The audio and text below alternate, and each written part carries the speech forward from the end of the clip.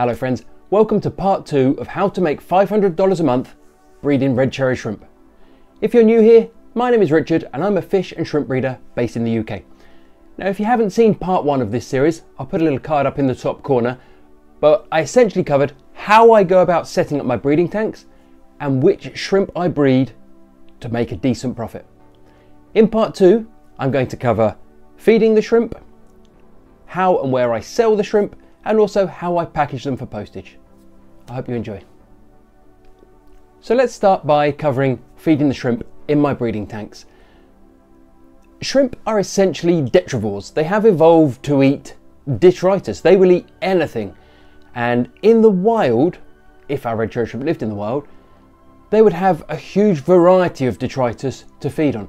They would no doubt feed on not only fish poop uh, and, and vegetation that was breaking down, like they can in our aquariums, but they would also feed on dead fish, dead invertebrates, other dead shrimp, pretty much anything that made it to the bottom of the river, the stream, the lake, whatever, the fish, the excuse me, shrimp would consume, and that would give them a massively varied diet. They would consume all of the nutrients they needed on a daily basis, just consuming detritus.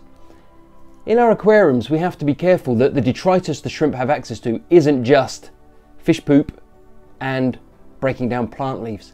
Okay, if we are breeding shrimp for profit and we want to maximize our breeding potential, we need to feed our shrimp a dedicated food that provides them all the goodness, nutrients, and vitamins they need to grow, to be able to molt, and of course, to be able to breed.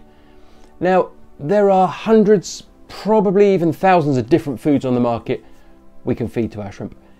Essentially, any good quality sinking fish food works well for shrimp. You can also buy dedicated shrimp food, such as uh, the Shrimp King line or Hikari Shrimp Cuisine. Personally, I favour Repashy gel food. Okay, Repashy gel food comes in a powder and you mix a small quantity with boiling water. You allow it to set and then you can store it in the fridge for a few days or as I do in the freezer for a number of weeks. And Repashy comes in maybe a dozen or more different varieties. I tend to use the community blend most often, but at the moment I'm feeding grub pie because that's all my supply had at the time. There's much of a muchness between the, the brands, uh, excuse me, as much of a muchness between the blends. It doesn't matter which one you go for, the shrimp will still do well. So why do I favour Repashy gel food over all the other foods on the market? Well, the great thing about Repashy is it stays stable in the water for two or three days. So you mix up the powder with boiling water, it sets. I then cut it into small cubes. When I feed my shrimp, I place a small cube into each aquarium and the fish will then pick, um, the shrimp will then pick at that for, now typically I use small cubes, so in this case for uh, a few hours before it's all gone. But if that cube is larger and it sits in there for two or even three days, Unlike many other foods, it remains stable. It doesn't start to break down and pollute your water. After three or four days, you would have to remove it, but if they're not consuming it within three or four days, I suspect you're putting too much in anyway. There are many other foods on the market we can feed to our shrimp. I also feed Tetra Color Crisps. I like feeding those to my fish, so they often get those. I have Hikari algae wafers, another decent quality food that the shrimp will enjoy.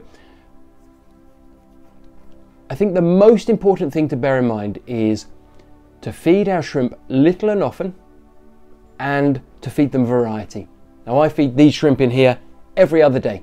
I put a cube in on day one, I feed nothing on day two, I put another cube in on day three, I feed nothing on day four.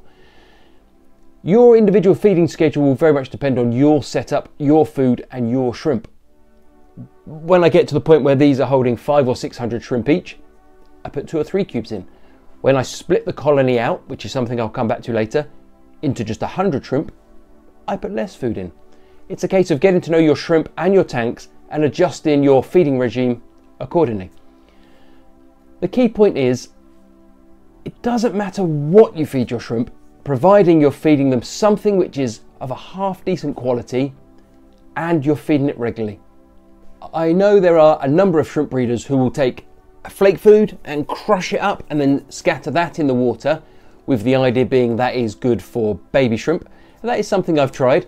Uh, personally, I find that something like the Repashy, as the shrimp are eating it, fines are coming off all the time, and those fines are found by the babies or by other shrimp in the tank.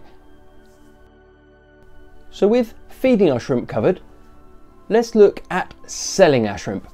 Now, I've tried a number of different places over the years to sell shrimp, but we found eBay to be the best place.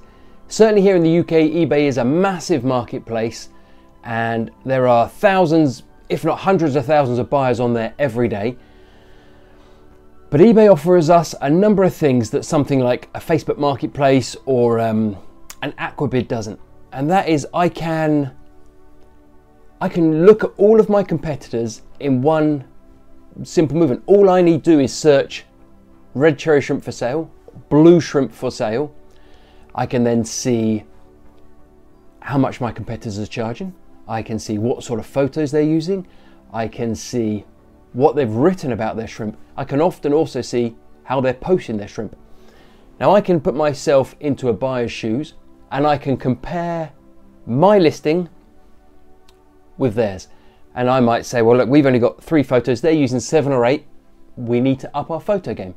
I might see we're charging $1.50 per shrimp, they're charging 125 Do we want to bring our price down? Are we happy? Equally, I might see that everybody else is charging $2 a shrimp and I'm only charging 125 That tells me I can up my price to 175 and I'll still be the cheapest on, on eBay. Now, I will admit you don't necessarily want to be the cheapest man in town. You want to offer a good quality product at a good price. But often, I believe people will go into eBay and they will select their product, let's say red cherry shrimp, and then they will filter by price. So if I'm charging two two dollars and someone else is charging 1.99, they will appear above me. So it's important that that I shop my competitors and see how and what they're doing. Now we have a major advantage over our competitors because clearly we're breeding our shrimp.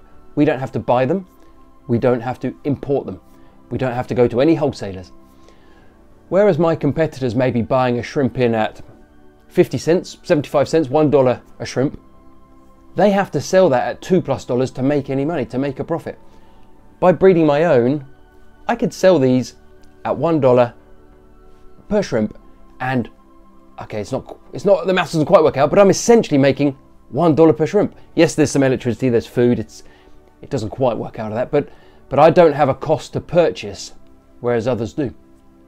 So before i list my shrimp on ebay i take the time to look at all my competitors see what they're selling see what how they're priced see what they're charging and then i gauge from there how i wish to list my shrimp.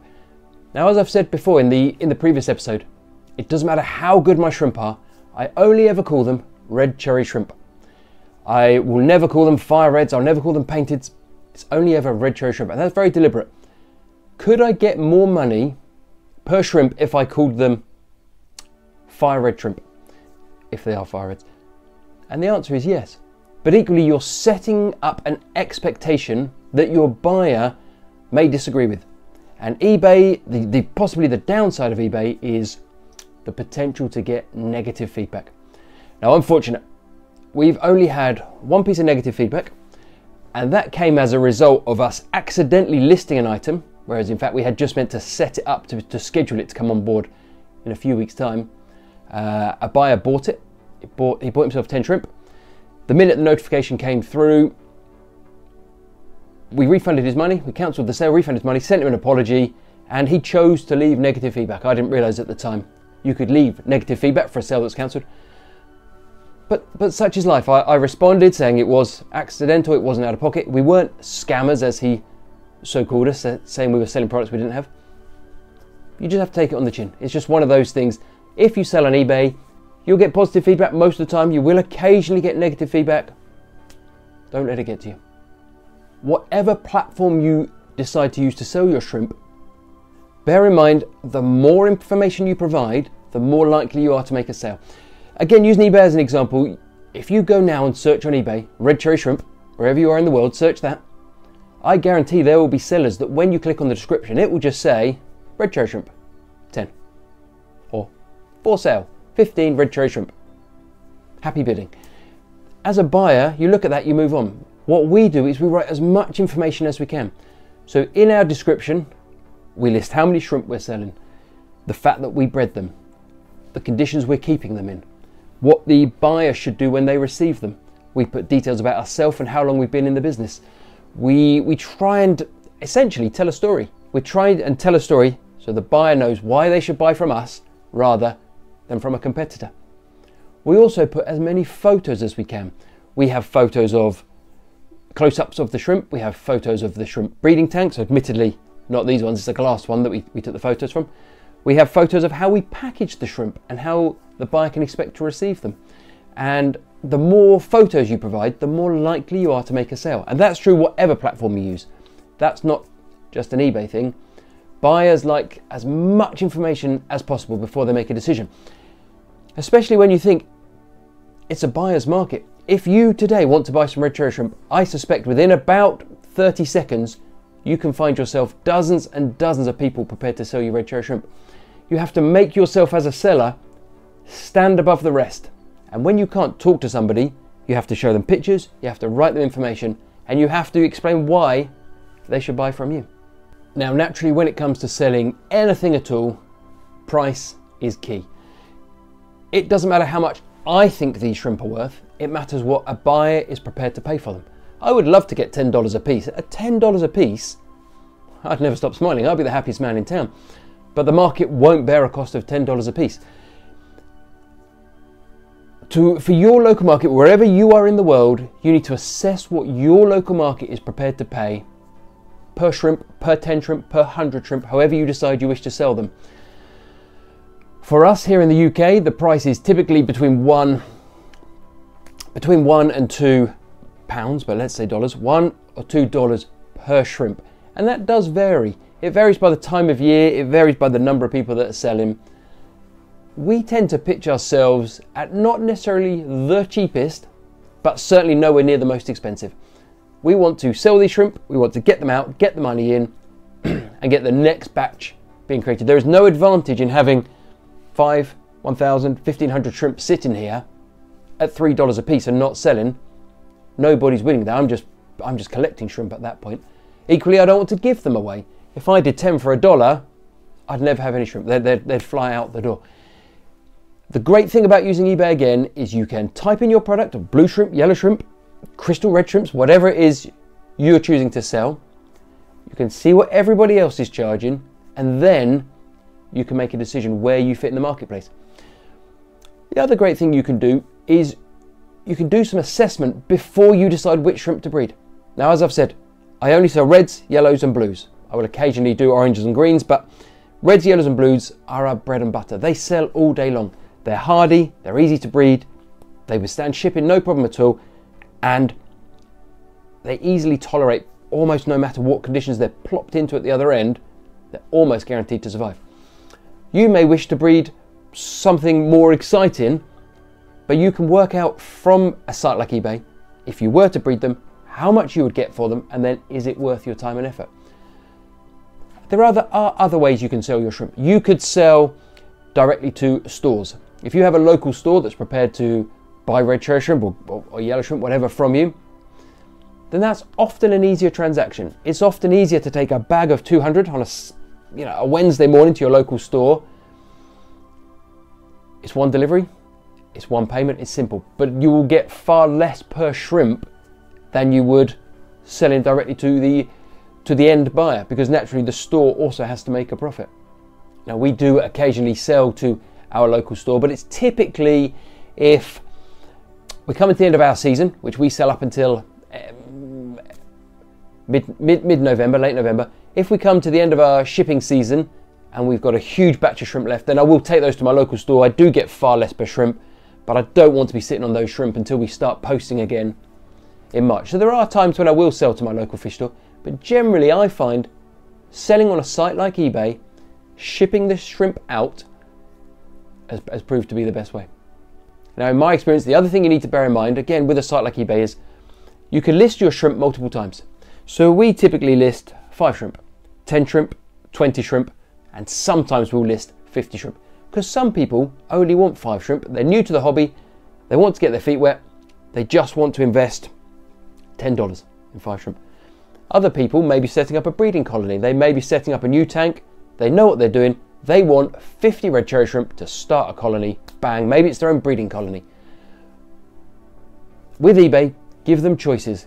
List your shrimp a number of different ways, set your price right. Typically, if somebody buys 50, they'll expect to pay less per shrimp than if they buy five. But it's a case of knowing your marketplace and setting your price accordingly for each different level. We do, I say 5, 10, I think it's 20 and 50.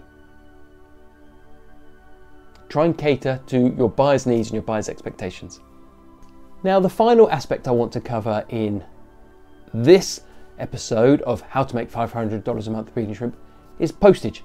But I think the best thing I can do is to cut to footage of me showing exactly how I package up my shrimp and how I found, or the system I found to be the best, the most successful. So I'll cut to that footage. It's the easiest way to show you, I think. Okay, so I like to start the shipping process by getting everything ready. And here you can see I'm sliding this tank out. One of the reasons I love these plastic tubs so much, as opposed to glass aquariums, is when I want to catch shrimp out of this one tub, I can just slide it forward, making it much easier.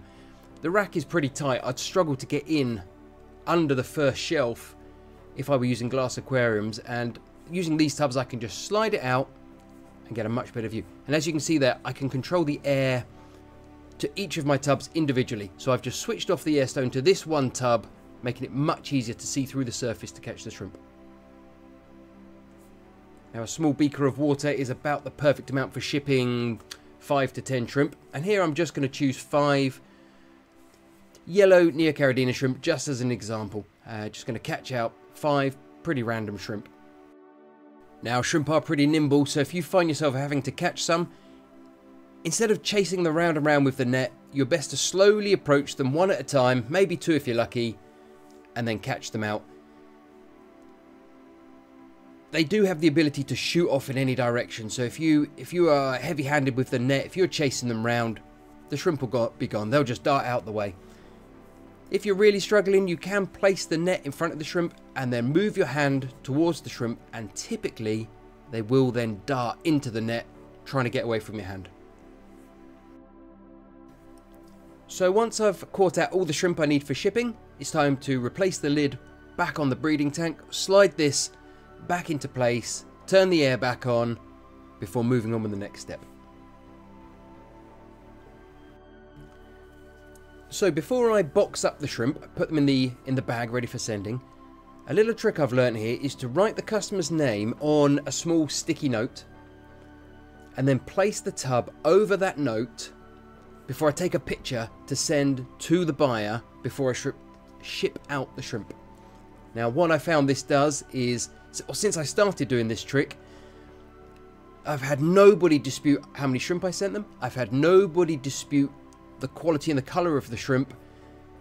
Essentially, it, the buyer knows what they're getting on the day they're being shipped. Now, the next job is to transfer the shrimp from the catch container into the bag for transportation. I use Kordon breather bags. Kordon breather bags allow for a transfer of oxygen and carbon dioxide through the walls of the bag during shipping.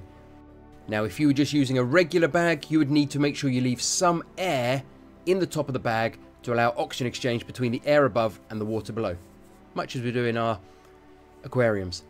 Now during transportation, shrimp do much better if they have something to hold on to.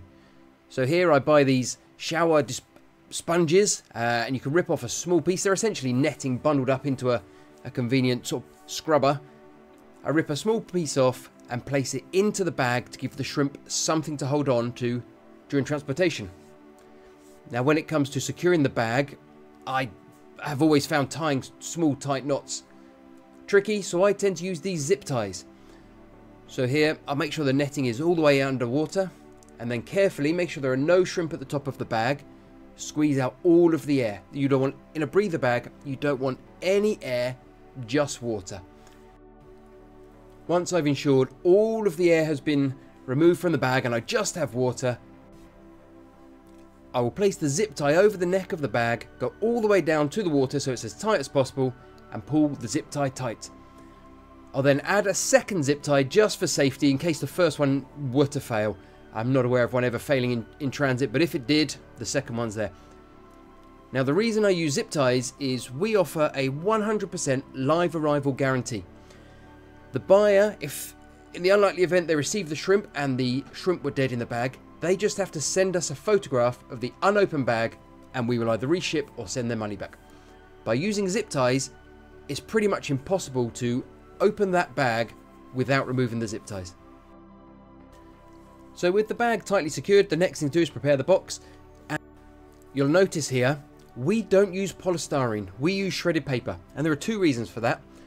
Firstly, it's free. We get bags and bags of the stuff from a local office for free. And secondly, it's much better for the environment. Polystyrene is a terrible thing for the environment, and shredded paper, certainly here in the UK, provides more than sufficient insulation for these shrimp. Now, I do try and pack the paper fairly tightly so it holds the bag in place. I don't want to squash the bag, but equally, I don't want that bag moving around during transit. I want it to stay in place to keep the shrimp safe. So the, all that's left to do now is to add a detailed instruction page so the buyer knows what to do when they receive their shrimp and to tape the box up. You may notice here we use a totally paper tape. Again, it's just better for the environment. With the exception of the breather bag and the zip ties, every part of our shipping can be recycled or composted. It just feels better for the environment that way. Once I've securely taped the box, I'll add the shipping details take it down to the local post office, and that's it. We send all of our shrimp guaranteed next day delivery. So we know by 1pm the following day, the shrimp will have arrived with the buyer. And that is essentially my entire shipping process from start to finish. So with feeding, selling and post in the shrimp covered, I think that's pretty much it for this part. I think I'm going to make one more episode, which is where I explain the proper geek stuff if you get to episode three, how I move my colonies around. We made some errors in the early days whereby we would have a tank of shrimp and we would sell all those shrimp. Fabulous. And then, of course, we'd have no colony to build. And then it would be three or four months before we then had more shrimp to sell. And of course, we didn't catch on straight away. We then sold that colony. Fabulous. Six, seven, eight hundred dollars coming in. Brilliant. Then we had no shrimp to sell. Again, we had to wait for two, three, four months. So I've come up with a system that, that, that works brilliantly now, and we now constantly have a supply of shrimp to sell. So if you're not subscribed already, subscribe to the channel so you know when that episode drops. If you haven't seen episode one, I'll put a link in the description. And on screen now, I'll link to another video which shows how I would set up a basic shrimp breeding tank in case that's something you're interested in. Thanks for watching.